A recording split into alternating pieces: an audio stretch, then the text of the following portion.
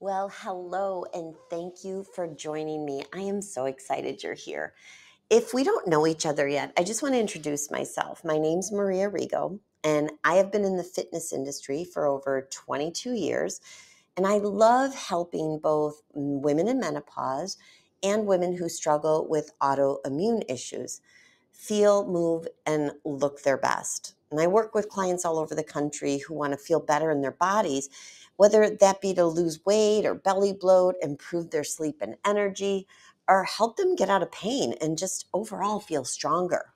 Now, my goal for myself as well as for my clients is for us to live our second half with strength and vitality and to love life and the way we feel, move, and look. Now, if you don't know me, you're probably thinking, okay, yeah, that's great, but why are you able to help me figure out my issues and make changes in my life? Well, I'm both a woman in menopause and one who lives with autoimmune disease. Back in 1993, when my youngest son was an infant, um, he's now 30, I still had baby weight to lose and I had no energy. And every afternoon, I'd either have to lay down on the couch and I would tuck my th- then three and a half or four year old son behind me and put on a Disney movie so that I could feel if he got away from me while my little guy was sleeping, or I'd have to live on coffee. And realize I was only 25 years old at the time, so I should have been vibrant and full of energy. So this was not right. And I was lucky enough that my gynecologist at the time, she was diligent and she noticed my symptoms and she sent me for blood tests. I was diagnosed with Hashimoto's thyroiditis. And thankfully, I was able to get that under control both through my lifestyle changes and through the medication. And I was also able to lose the weight and keep it off. And that was almost 30 years ago. So, what I've done for myself, I've replicated and I've studied how to help people do this. And that's how I now help my clients. Um, I'm a coach. This is my background, and just so that you can see some of my credentials. And I am more than halfway through in my course at the Integrative Institute for Nutrition. Um, that's a year long course, and I will be then considered a health and wellness coach as well. Um, I also like to always throw in there too, way back in my earlier life, I attended French cooking school and I have taken my love of cooking and applied that now to healthy recipes. So, in my Six Pillars of Wellness program, I also provide recipes for my clients so that they're learning how to cook at home, make easy meals, things that are nutritious and not high in processed foods or just processed carbs, a lot of focus on good proteins and fat. So, if you want to live your second half with vitality and vigor and feel your best, I think you're in the right place. I created the Six Pillars of Wellness, and it's a 12 week program. And I'm going to teach you about all of those pillars here tonight. Now, I want to make sure that you get the most out of this, but for a quick second, let's go to a disclaimer. Um, and just, I have to just say this, but you know, the information I'm providing to you today is for educational and entertainment purposes only. It should not be taken as a treatment plan or to replace uh, anything from your medical professionals or if you're working with a dietitian, you should absolutely follow what they are telling you. And I know that everyone is different. So I like to make myself available to you. So during these next five days, you have this course and you will be able to reach out to me with any questions you would possibly have. So you could either reach me at mariarigo at boundlessbalance.com or I'm on Instagram at boundless underscore balance.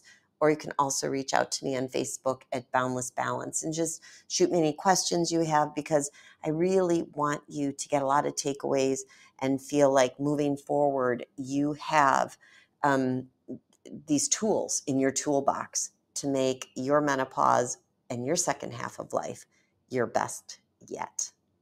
So let's start right away with talking a little bit about menopause. And I just want to say, I think it gets a bad rap. Do you remember back to the days of dealing with your period? Oh my gosh. Or do you remember those days when you were bleeding so hard you were afraid to leave the house? And what about worrying about getting pregnant or having to deal with birth control? Isn't it liberating? I mean, I can go for hikes and bike rides and on vacations and out with friends without ever having to worry about an accident again. So just, you know, take a moment and think back to those days and realize we are liberated. And the Japanese have a term for menopause that I love and I refer to it a lot. It's called the second spring. It's like we're getting a second chance at adulthood without dealing with all that other stuff.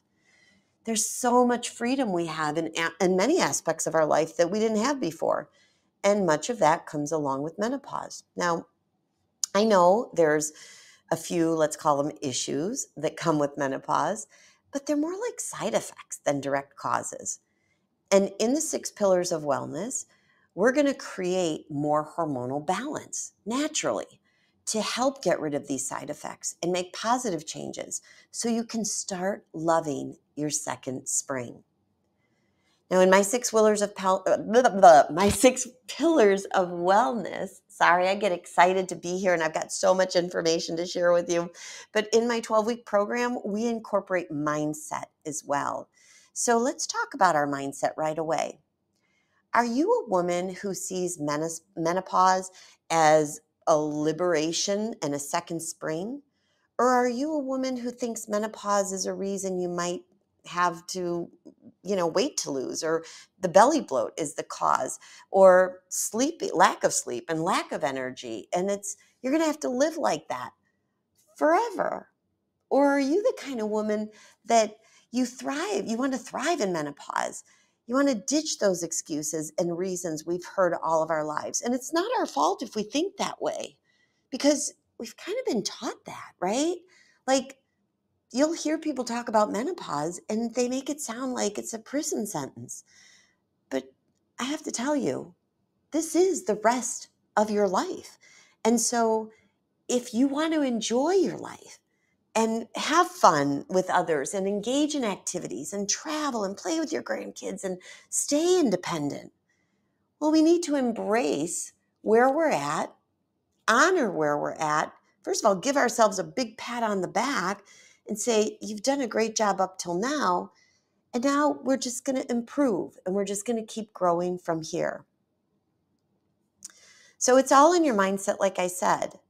So there are those women who think, oh, I don't have the time and I'm not going to make the commitment to self care. I just, I have so much other things I have to worry about. And they're struggling and they're suffering. And then there's the women who do commit to taking care of themselves, who enjoy their 50s and beyonds. And I can tell you from experience, for myself, of working with hundreds of women, that the ones who take time for themselves and follow the six pillars of wellness are the ones who are enjoying good health and wellness. And I want to just ask you right now, as a little side note, just ask yourself how do you define good health and wellness? How's it going to feel in your body? Do you feel it now? Is there room for improvement? Or are you thinking to yourself, I don't know. I don't know what that feels like. Well, no matter where you're at in your journey, my six pillars of wellness will work for you because we meet you where you're at and then we take you to where you want to be, to where you want to go. Now let's get started with our first pillar, which is sleep.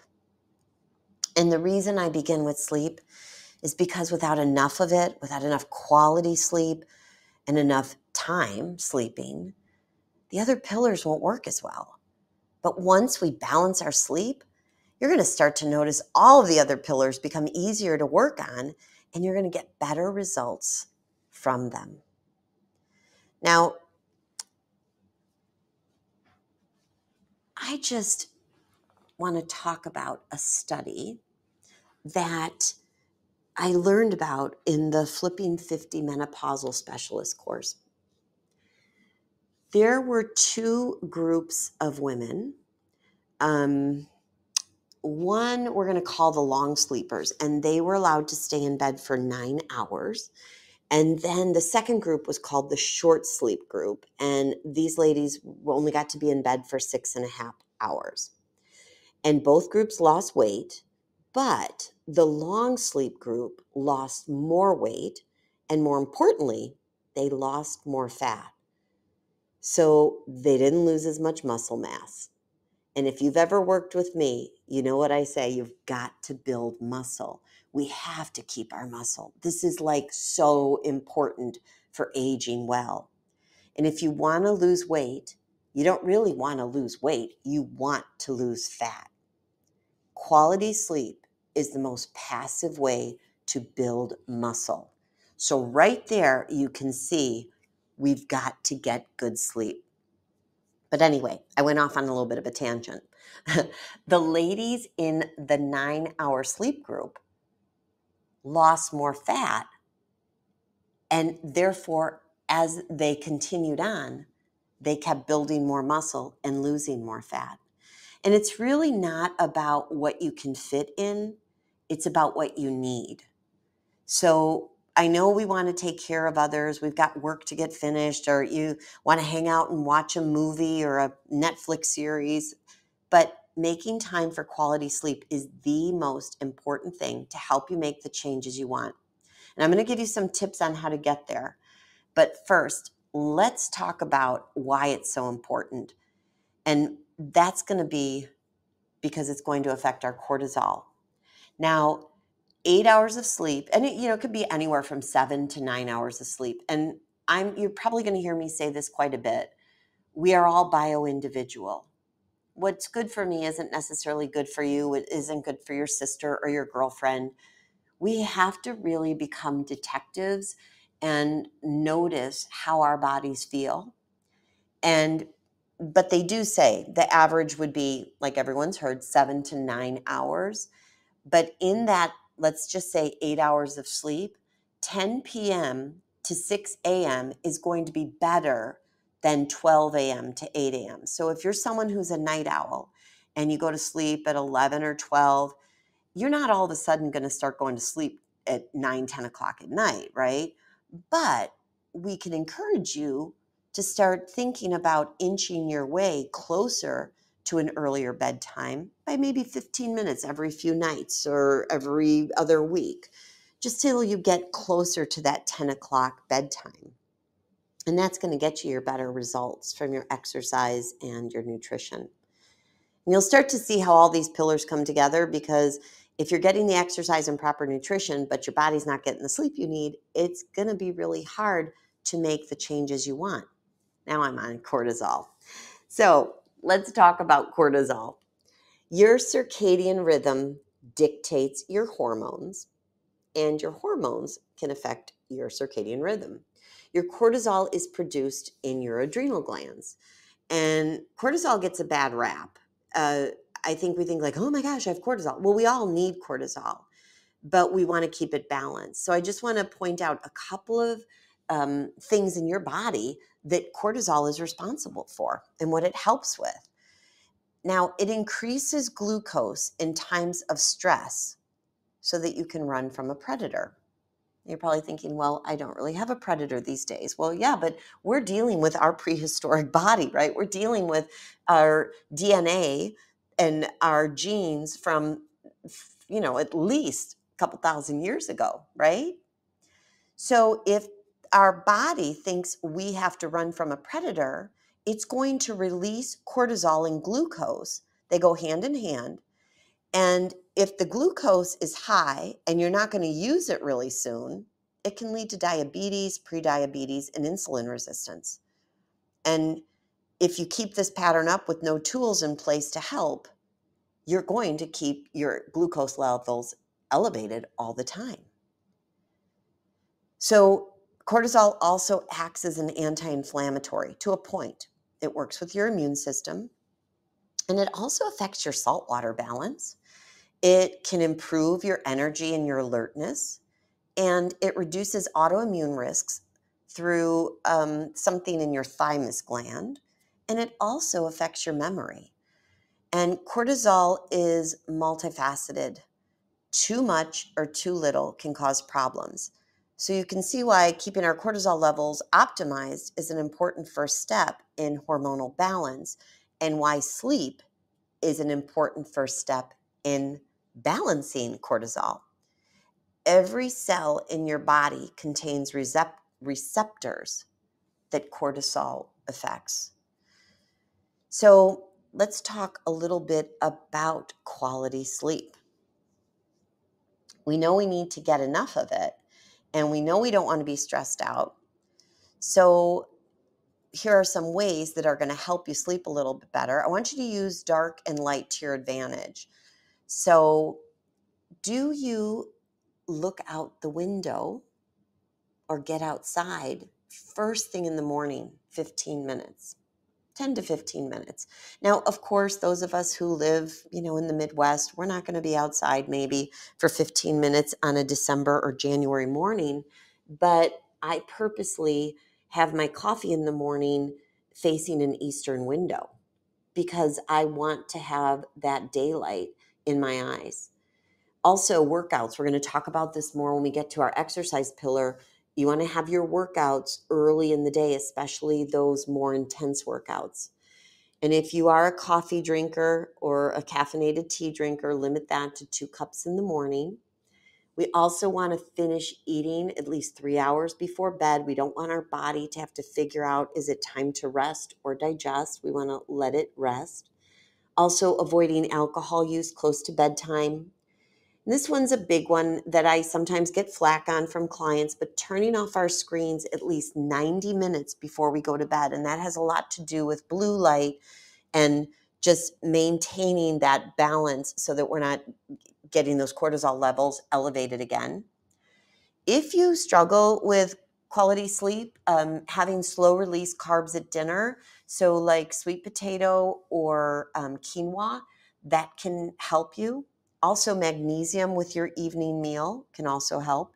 And you can start a soothing bedtime routine. So, some of the things that I do and I recommend to clients, and once again, we're all bio individuals, so we need to figure out what works best for us. But instead of being on those screens 90 minutes prior to bedtime, how about taking a hot bath, putting some Epsom salts with some lavender oil, or doing some melt, or meditation or breath work or just getting, you know, take that hot shower, hot bath, and get into bed and read or journal. And um, snuggling a loved one, you know, being in contact with somebody we love. And if we don't have a loved one eh, that lives with us, but we have our pet, that that works too. Just having that connection to something.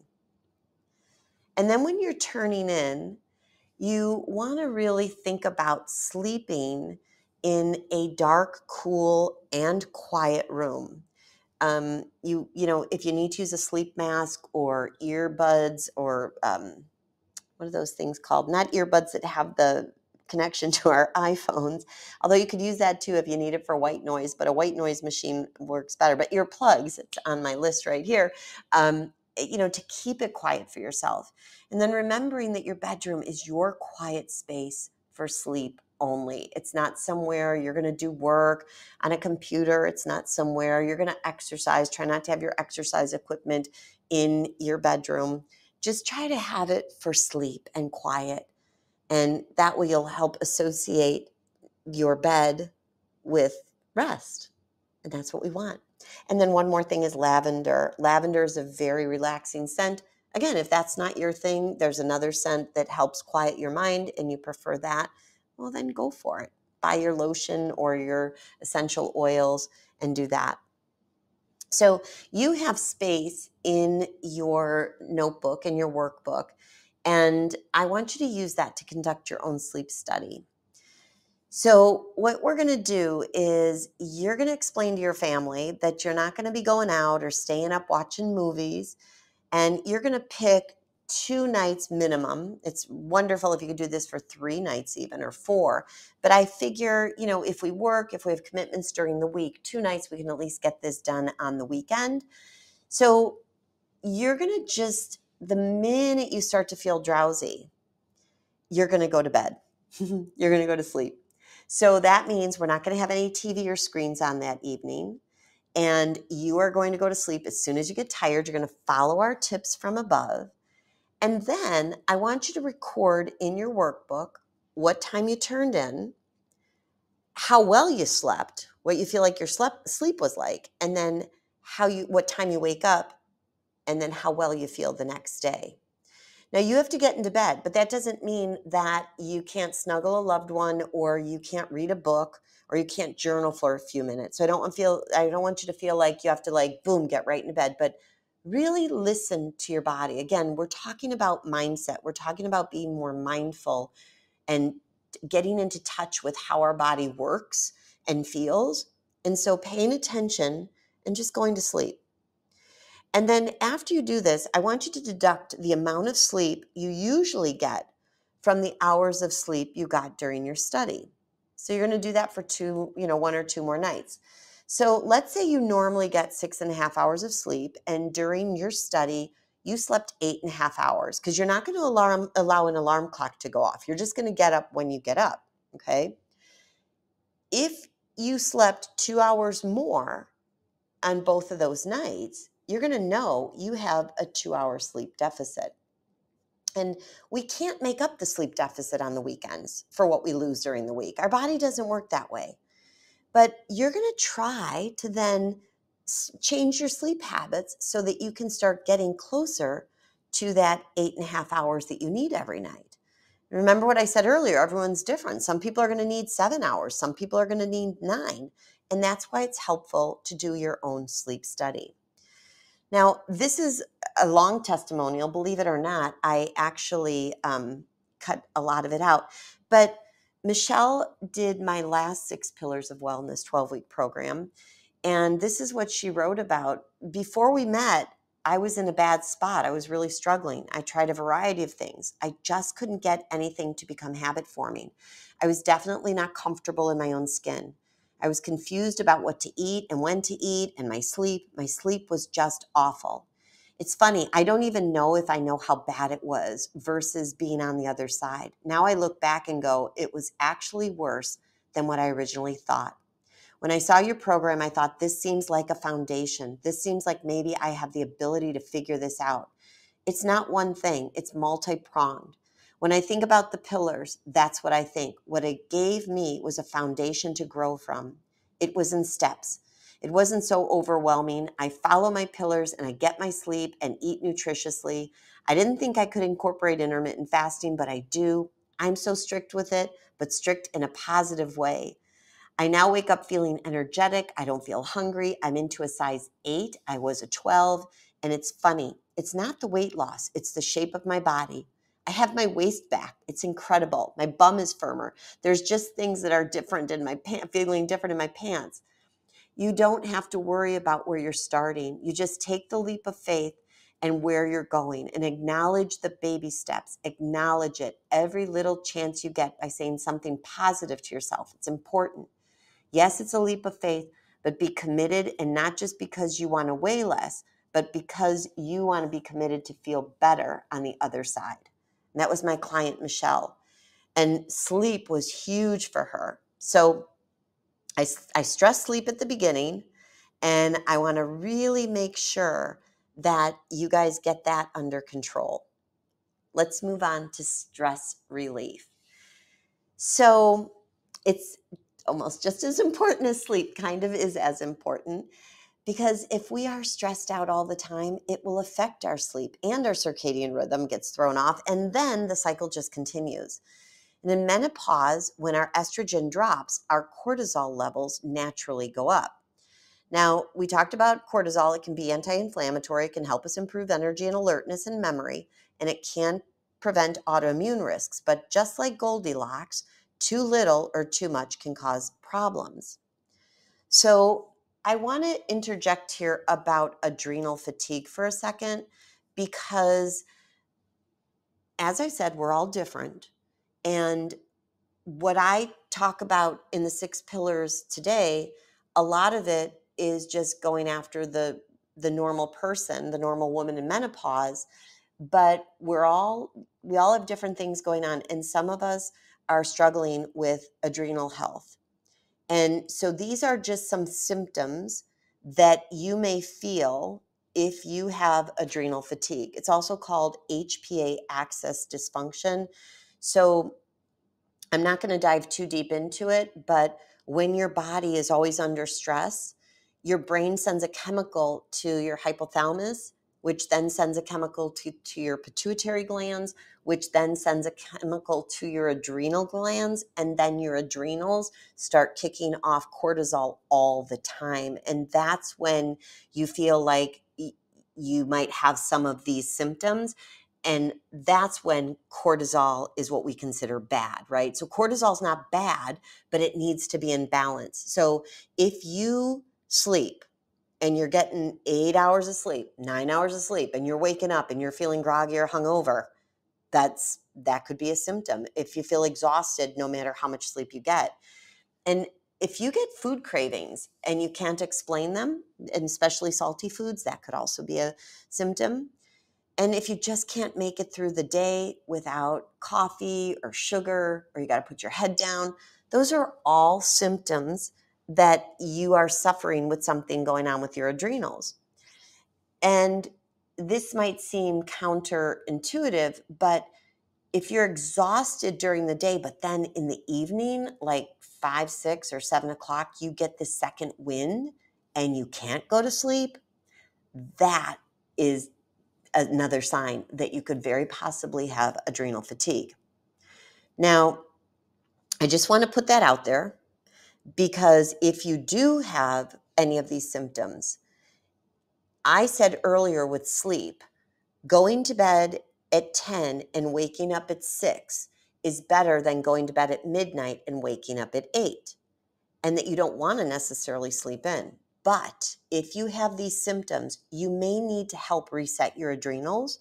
So you still don't want to go to bed at 11, 12, 1. You want to go to bed at 10 but if there's any possible way to allow your body to sleep until eight, nine o'clock, because around eight o'clock in the morning is when our adrenals reset, especially for like two weeks, you might be able to help solve your own problem.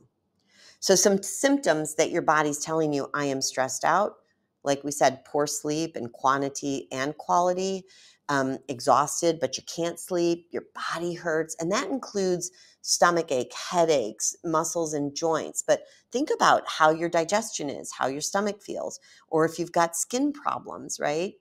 If you have forgetfulness or irritability, or if you are just so inflexible, like, you know, your spouse or your kids or your partner says, you know, the last minute, like, oh, I'm going to be five minutes late, and you fly off the handle, and you're like, God, that's not really like me Okay, those are all symptoms that your body is telling you you are stressed. Now, I just want to loop back to the predator.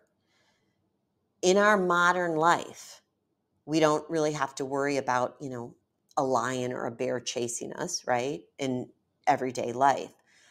But your body, your nervous system doesn't decipher between real imagined or anticipated stress.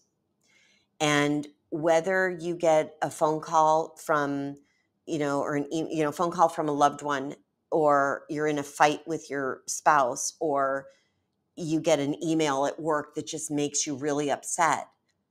Your body's thinking that's the predator. The hormones are being released, right? So that's okay. I mean, that's why our body is made the way it is. But if we're under that all the time, that's when you're really you're just having too much release of cortisol and glucose and your body cannot get back into balance. And so um, I just want to make sure I'm covering everything.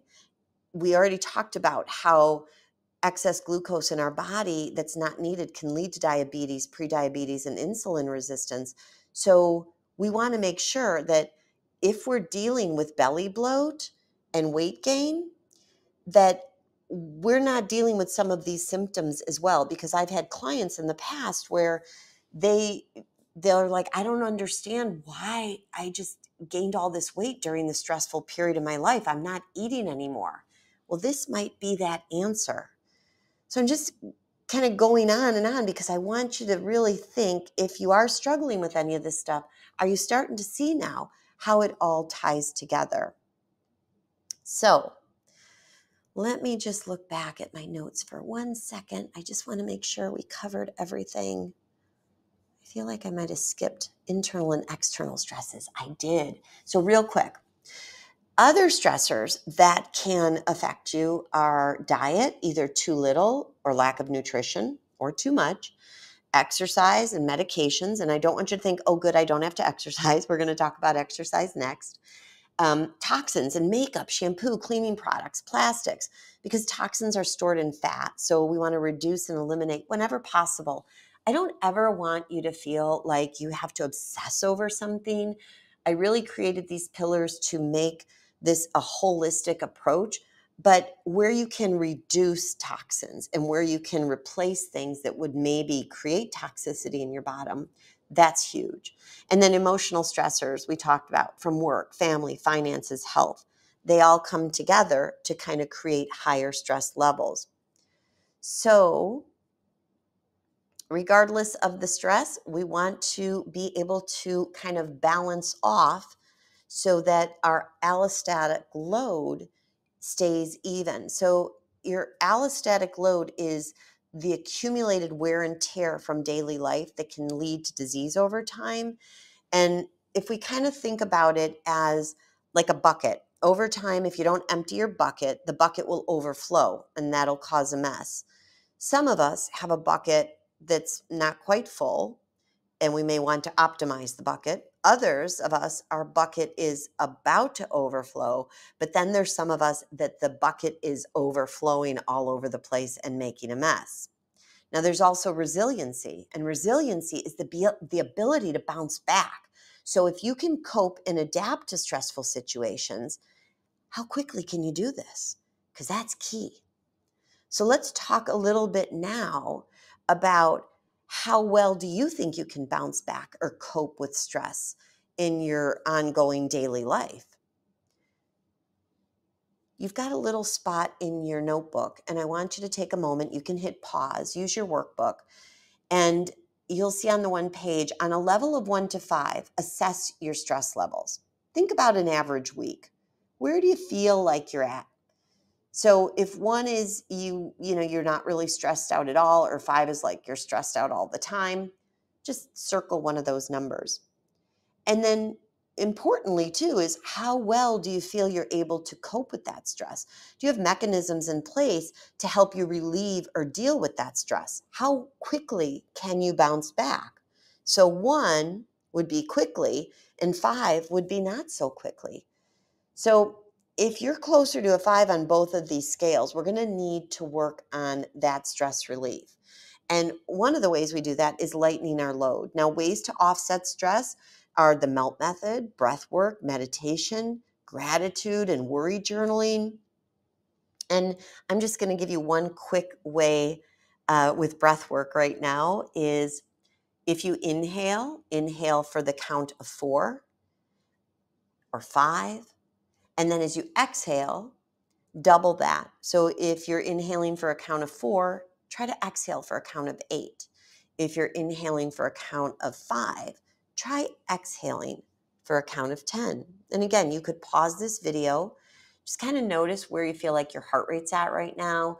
Notice if you feel pretty calm or if you feel a little stressed or agitated.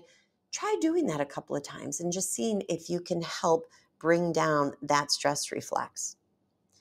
And then there's more ways to offset stress as well too. So scheduling breaks in your day, just taking 5 to 10 minutes to sit and rest, to do nothing a couple of times a day.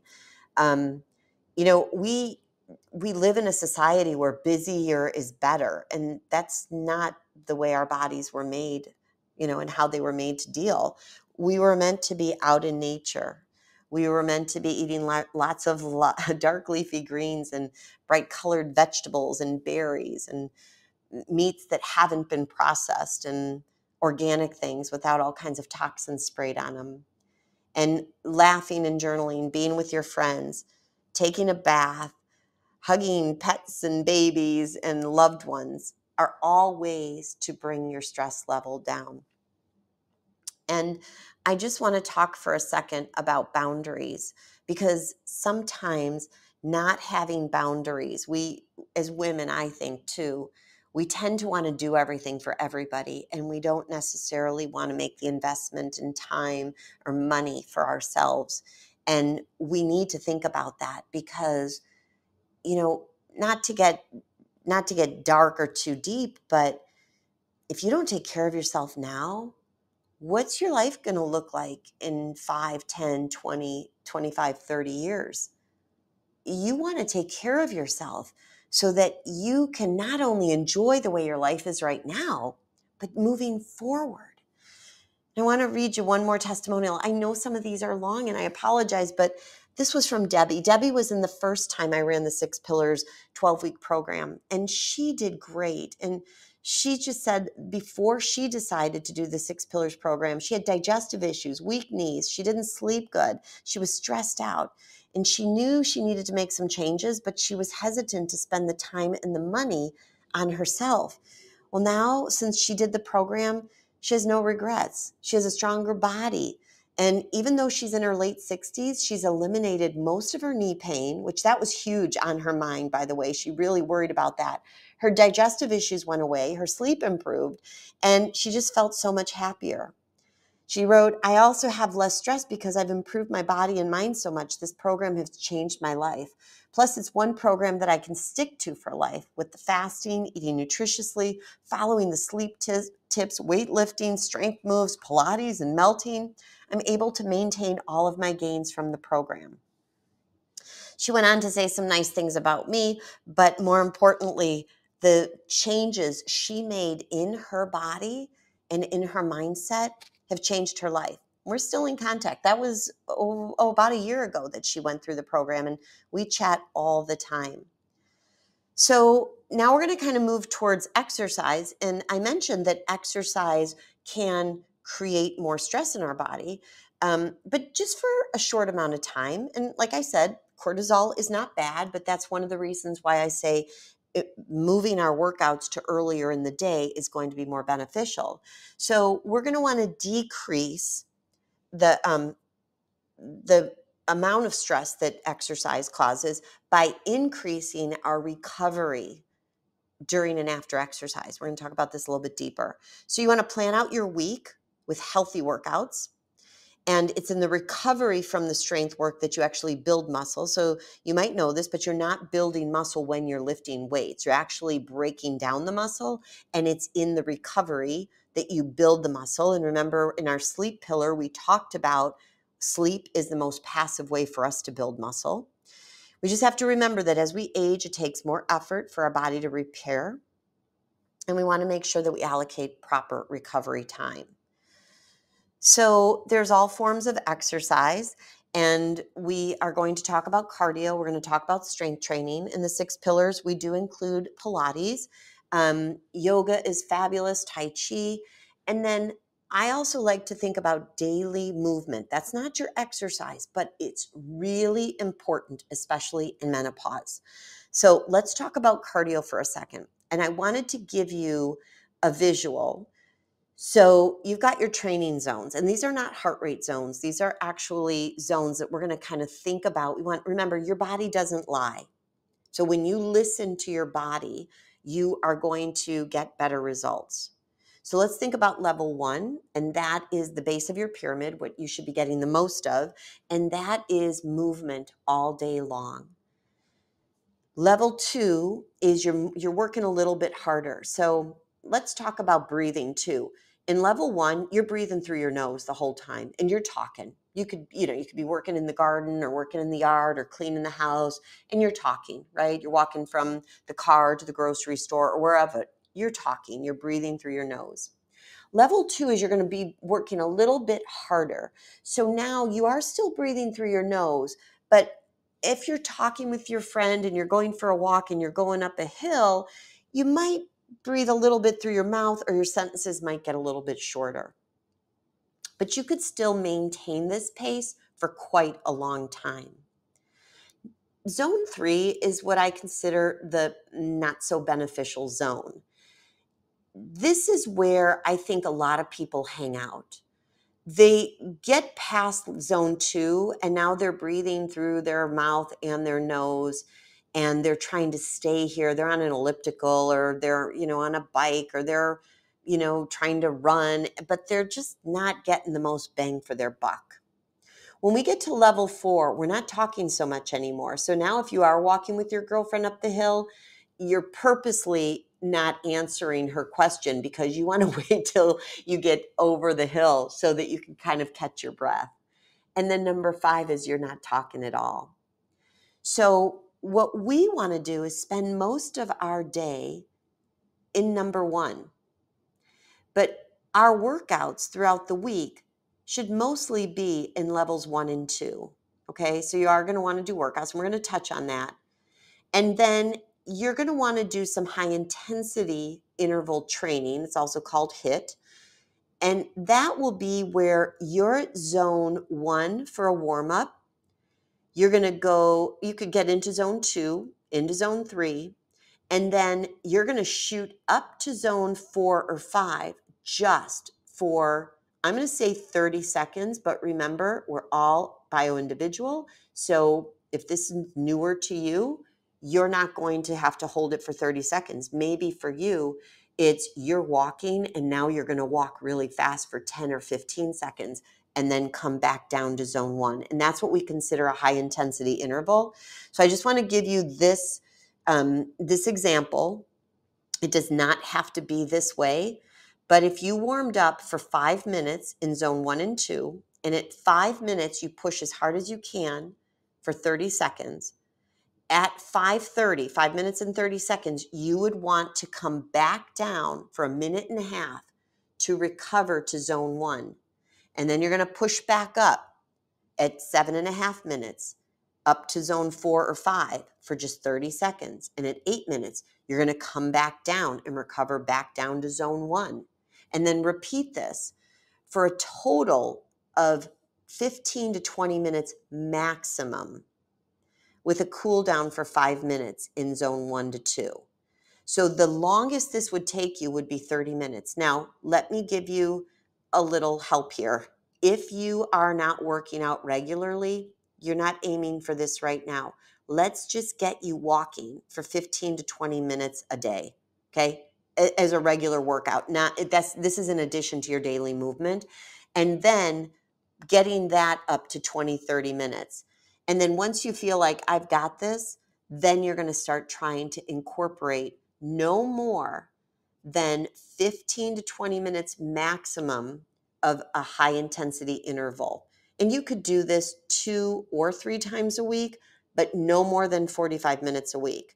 I typically only do two HIIT workouts a week, and sometimes it's only one. But when I'm in the wintertime and I can really monitor it, I'm doing two a week on my trainer indoors. This can be done dancing around your living room. If you love to dance, dance, keep it kind of, you know, low and steady, and then jump a little bit, do some jumping jacks or walk up and down your stairs or do something that's going to elevate your heart rate.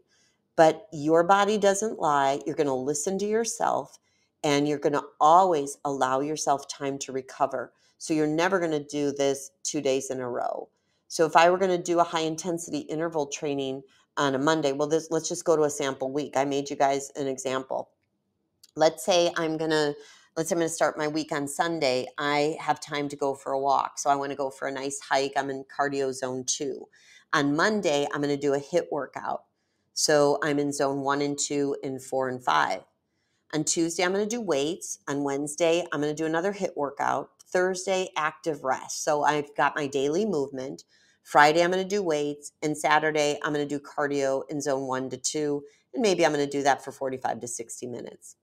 So you can see this is not requiring a lot of time. You don't need a gym membership and you don't need any special devices. You can do this by listening to your body. Now let's move on to strength. So I want to talk to you about adding a circuit into your life. And we talked about building muscle. And I cannot stress enough how important muscle building is, strength training is in midlife. And if you haven't done any up till now, again, you're always going to meet yourself where you're at, and then we're going to take you to where you want to go. So we've got pushing moves.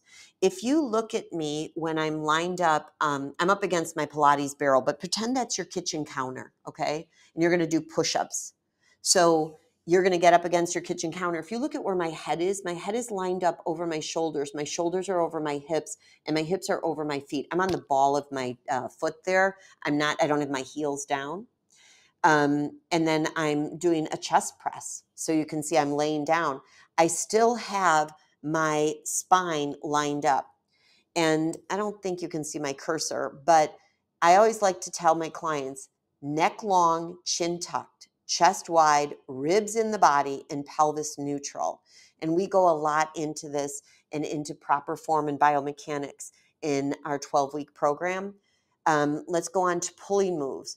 We think about we could pull and I this is just a band. This is just with a door attachment. I have these available. This is pretty a cheap setup. I think for under twenty five dollars, you could add this in. Or I also have super bands, but I'm not here to sell you product. I'm just telling you that a pulling motion. You could also do a free weight if you've got free weights at home. But if you're starting from scratch, bands and tubes are a really easy way to add that in, but free weights are the bomb. So you're going to do a pulling motion, a pushing motion, a lower body move. So uh, this first slide is a split squat. And again, you can see my head is lined up over my shoulders, over my ribs, over my hips. My knees are not going out over my toes. And then this is a bridge. And then I also like to have you add in a rotation. This is showing a wood chop, but you could also add in like a Russian twist where you're seated on the floor and you're just rotating your ribs, thinking of your obliques. So this is just a really easy strength circuit. And I you're going to just pick one push, one pull, but then you're going to pick two lower body moves, so either a hip bridge, a split squat, squat or a deadlift and then a rotation move. And that could also be like a oblique curl that people do laying on the floor. The most important thing is to start with proper form. So you're going to start at about 12 to 15 repetitions, really paying attention that you're doing it right. And then as you get after about if you've never been lifting weights before, you're going to want to give yourself like 4 to 5 weeks building up to heavier weight and then you're going to start where you're going to fatigue at 10 repetitions because we really need 10 reps to fatigue at 10 reps to be able to uh, create that muscle building effect we're looking for. And by doing a circuit, number one, you're allowing for proper recovery time per muscle group but you're also saving time. And I know how precious our time is. So, this circuit you can get through in about 20 minutes. Now, realize if you've never lifted weights or if you haven't lifted them properly and you need to learn proper biomechanics, if you need to learn how to do it correctly, it's going to take a little bit of time to learn it. But once you learn it, you've got it for life. And if you need to invest in a couple of dumbbells or kettlebells or bands or tubes, what a good investment. It's in yourself. And that's what we need to do is just think about how can we take better care of ourselves. That's why I call it all self-care. Now let's leave this pillar and move on to nutrition. And remember, we are all bio-individual, right? So intermittent fasting, I'm going to just talk about that adrenal fatigue again. Remember, if we have adrenal fatigue, we're going to sleep in a little bit later if we can. But um, we also want to talk about intermittent fasting. Intermittent fasting, and this is based on research, it can be beneficial to women in menopause as a lifestyle regime that can improve women's health in health in many folds. However, I'm going to give you a caveat. If you have adrenal fatigue, if you suspect you have adrenal fatigue, I don't want you to intermittent fast right now if you have autoimmune disease, I would ask you to talk to your healthcare provider because everybody's different. But if you're looking for a way to improve your health and wellness, to create autophagy, which means uh, cleaning your cells basically to help prevent disease. Intermittent fasting is a great way to go. Um, and the, the what I use is what like a time restricted feeding, 16 hours no eating, 8 hours eating. So you're not eating snacks in between meals. And I don't want you to think that if you're going to do this, it gives you the green light to eat more calories during those 8 hours that you are eating that you did during 10 or 12 hours of eating. Um, and then, of course, eating earlier in the day is huge in helping. And I don't want you to be afraid here, and I don't want it to scare you off. You don't have to intermittent fast. Everybody is their own person. Listen to yourself. Um, but I just want to bring this to your awareness that is definitely something that I'd love you to consider. And sometimes we have to make decisions. And just if you want to pause this video and ask yourself this question Could I consider not eating after dinner? Like if you're a person who snacks at nighttime and you're trying to lose that belly fat or you're trying to lose excess weight, remember fat, not muscle. Um, could I think about and make a commitment to myself that maybe for a week I'm going to try to just finish dinner, brush my teeth, and be done for the day. That might be your way of intermittent fasting right now. Remember, meet yourself where you're at and take yourself where you want to go. Now, these are people that I um, listen to, I follow. Dr. Jason Fung uh, wrote the obesity code. I get a lot of my intermittent fasting information from him. Dr. Benjamin Bikman wrote Why We Get Sick. He really focuses on higher fat diets, and I don't mean hamburgers and cheeseburgers and french fries.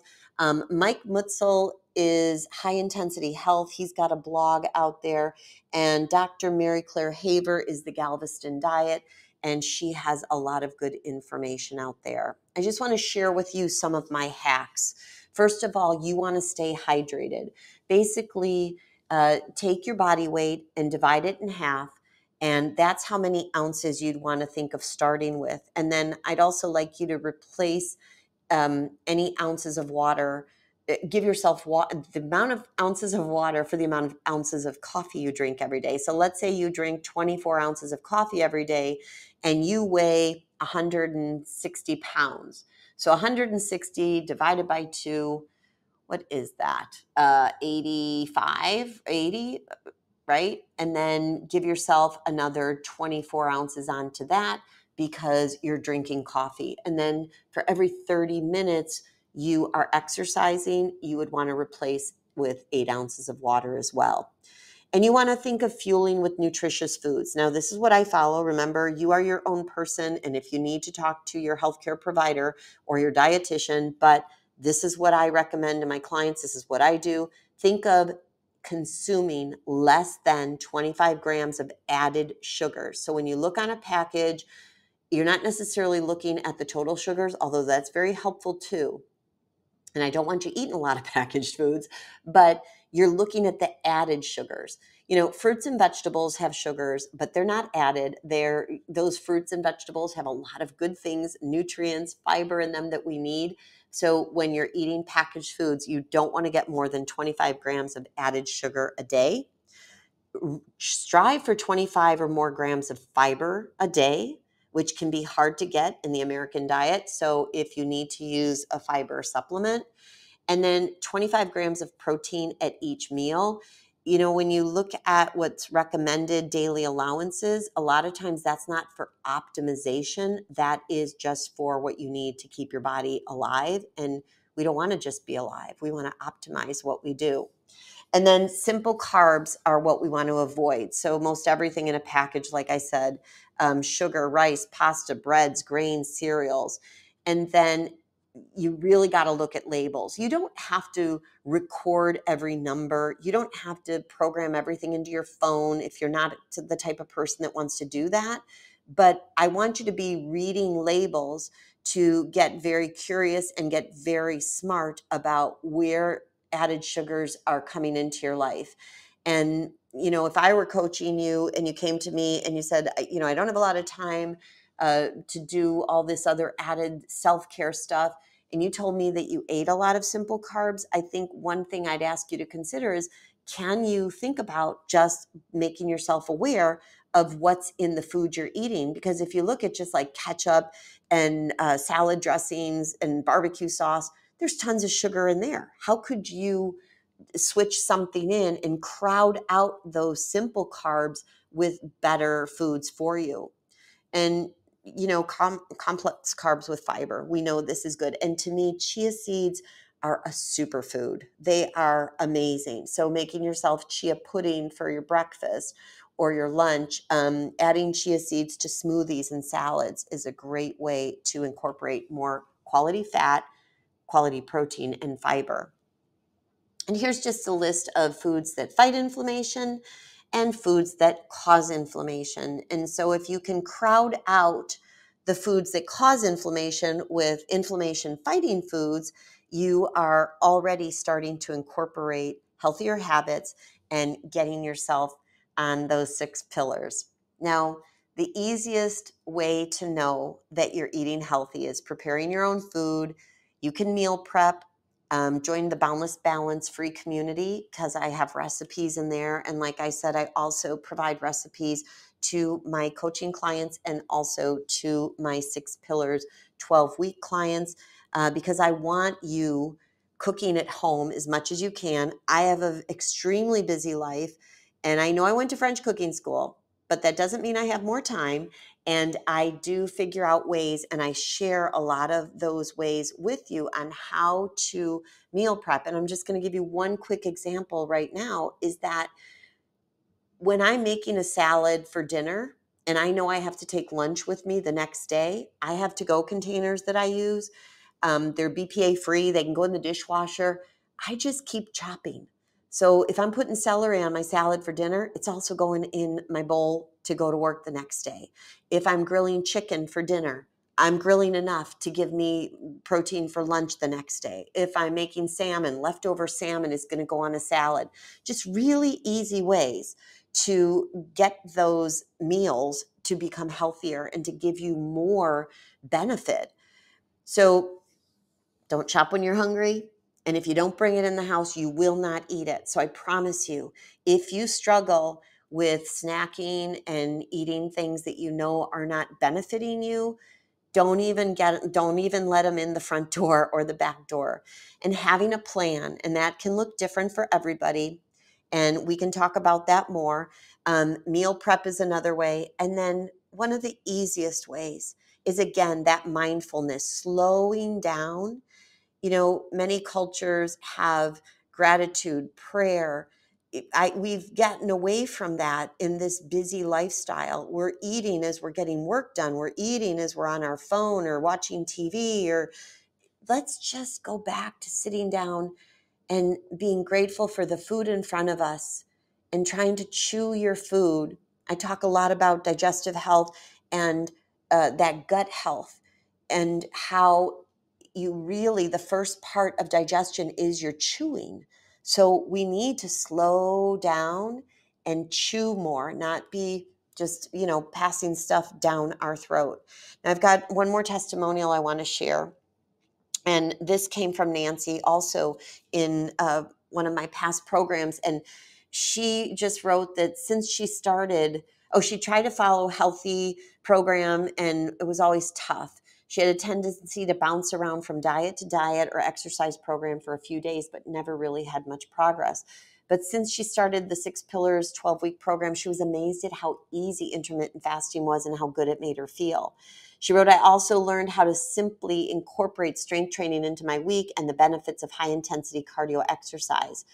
So these are all things I, I, included her testimony because uh, in part of a testimony, I must not have had it in this one. She wrote about having sugar cravings, and she was really able to kick her sugar cravings by listening to these helpful tips. So, the next pillar I want to talk about, and I appreciate you hanging in with me, and we're almost done, so stay with me. But this is huge, and this is the MELT method. And I include this in the six pillars of wellness because in my opinion, and due to research, I think too, some research, that your connective tissue and your nervous system have to remain balanced in order for you to feel good, and especially as we age. So, the MELT method is something I was trained in in 2013. I'm a level five MELT method instructor, and I swear to God, this this changed my life and it changed the life of my clients. And I incorporate MELT into every client's program, uh, coaching clients, and and my 12 uh, week clients because the benefits are huge. It eases stress and tension, it improves your sleep and digestion, it turns down the sympathetic nervous system, that fight or flight response, and it helps turn up your parasympathetic nervous system, which helps you with resting and digesting. It helps get rid of aches and pains. It improves your lymphatic flow and it helps to strengthen your immune system. The benefits are endless. And I sometimes almost am brought to tears when I'm talking to a client who struggles with pain, who has such debilitating pain that they can't enjoy their life, that they're going to see chiropractors and therapists and all these different people. And they come to me and I say to them, I'm not saying you don't want to keep doing what you're doing, but when they finish a melt session and they're like, I cannot believe how much better I feel. The reason I'm almost brought to tears is because melt allows you to become your own hands off practitioner. You learn how to be your own body care worker. You learn how to care for your body. And my goal is not to have clients for life that need me every single day. My goal is to teach my clients everything, to teach you how to simplify your workout and your eating and improve your sleep and reduce your stress and how to get out of pain. And in MELT, we have four R's that keep us out of pain, that keep us active and pain free. That's reconnect, rebalance, rehydrate, and release. And then we also add in the two R's of neurostrength. And neurostrength R's are reintegrate and repattern. So in our 12 weeks together, we get our four R's going. And then we also add in neurostrength so that if you have knee pain because your hips are unstable, I teach you how to help stabilize your hips so that as you're doing your squats and your lunges and you're walking or you're on the treadmill or you're going upstairs or a hill, you're not going into your knees. You're using your hip stabilizing mechanism to hold you upright. We stabilize your core. We stabilize your shoulder girdle. And then quickly, because I want to get you through, the, the last pillar is breath work and meditation. And so breath work can be anything from diaphragmatic breathing, bucket handle breathing, box breath, melt 3D breath. There's so many different ways to improve our breathing. If you go into my free community on boundlessbalance.com, you'll see crocodile breathing and supine 90 90 breathing. Super simple ways to help not only with your diaphragm, but also your load share of your spine. And then we also can practice meditation. There's all these different forms of meditation, and you may see that some forms of meditation are very similar to forms of breath work. And the reason I list a bunch of things is we are also different. And if you're a really high energy person that's kind of type A, that has a hard time just sitting still and calming down, for me to tell you that you need to meditate for 10 or 15 minutes every day is not going to help you. So, what I try to do is coach you into finding what works for you, what resonates with your body, and what feels good to you because you are your own master of your own universe. And I'm just here to guide people along the way. And then, if we think about the six pillars of wellness, we want to start simple and small, and we want to stay consistent. And you can see how all of the pillars overlap to give you wellness. And I truly believe, and I live it in my own body, and my clients live it in their bodies, that when we combine these six pillars, we feel better in our body. It's a holistic approach, it's mind and body. I coach you along the way to help you make lifestyle changes that will last a lifestyle. This is also a very small program. I only allow 10 women into the program at a time. I cap it off because you need my attention to help answer questions. And so I am with you every step of the way. And it's a proven system. We talk about mindset, and mindset is everything. And so if you have any questions about mindset and you want to reach out to me, go right ahead. Um, it, it's not something I can teach you in an hour, but it's something we work on throughout our 12 weeks together, which is why this program is 12 weeks. And I'm not going to read all of the things we do in the program to you. You can go back and read this. You've got this for five days. But I want you to just know that I've given this a lot of thought. This has come from probably, oh, 20 years of putting this together, and it does work.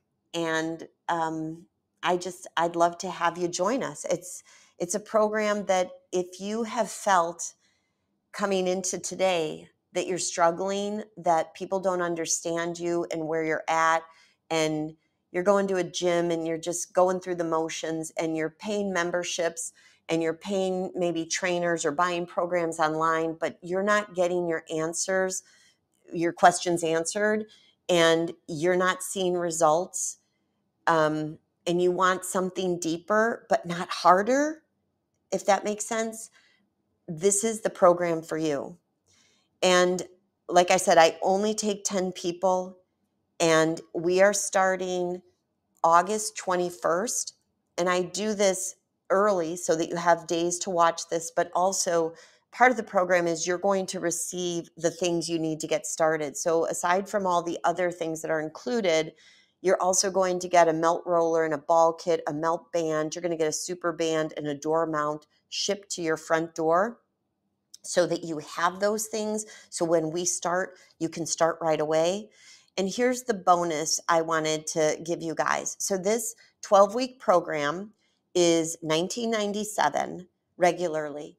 And that may seem like a lot, but if you start to think about what you spend money on and how over the course of three months, $2,000 can come in and out, it can go pretty quickly. And I'm giving you $500 off of that price if you sign up before this masterclass ends. So you've only got till the end of this masterclass. If you started us late, you're a couple days behind. So I don't want you to think you've got a full five days. And if you'd like to, you can do $500 off and do it in four monthly payments of $424.17. And if for any reason you think that, oh, uh, that's going to be a stretch for me, I can always work with you privately and we could stretch it out into five monthly payments. And the bonuses only last till this master class expires. Like I said, there's only 10 spots available. And the women who have been in my classes, in my 12 week program in the past, have seen such great changes for their life. So once you're finished, you're not just done. You're you keep moving on. You keep growing and flourishing and you live with vitality and grace and strength moving into your second spring. So again i want to thank you so much for being here. Don't hesitate. Reach out to me with any questions you have.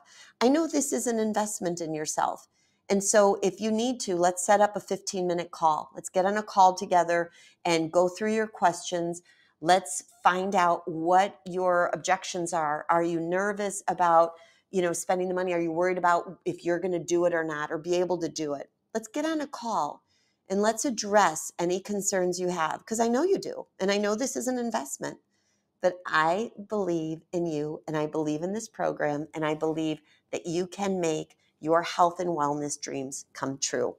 Thank you so much for joining me and i look forward to talking to you soon